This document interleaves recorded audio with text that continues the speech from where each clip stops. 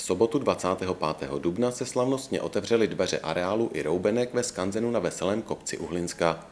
Pro tuto příležitost pracovníci souboru lidových staveb Vysočina připravili zajímavý a rozmanitý program, který probíhal od 10 do 15 hodin odpoledne. Návštěvníci si v jednotlivých chaloupkách mohli zkusit zhotovit ruční papír, vlastnoručně vytvořit tradiční papírovou květinu nebo třeba upéci tradiční perník tlačený do dřevěných forem. Kromě toho bylo možné ve Veselokopecké hájence ochutnat čerstvě upečené pečivo. Mezi roubenkami si mohli děti vyzkoušet jarní hry našich prarodičů, jako například tlučení špačků, chůzy na chůdách nebo hru s obručí. Jak k zahájení návštěvnické sezony ve Skanzenu uvedla vedoucí zprávy souboru lidových staveb Vysočina Ilona Vojancová, sobotní program byl malou ochutnávkou toho, co zde mohou návštěvníci zažít v nadcházejících měsících.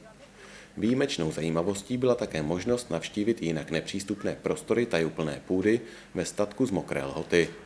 Právě zde se zájemci měli šanci dozvědět řadu zajímavostí o stavbě roubenek nebo si poslechnout vyprávění o nadpřirozených bytostech z okolí Veselého kopce. V sobotu 25. dubna byl spuštěn i Veselokopecký mlín a pila. K dobré náladě přispěly jistě i veselé písničky heligonkářů a pestrá nabídka jídel v hospodě na Vejměnku v areálu muzea. Další akcí z letošního programu na Veselém kopci bude oblíbená hrnčířská sobota, která se zde bude konat v sobotu 16. května.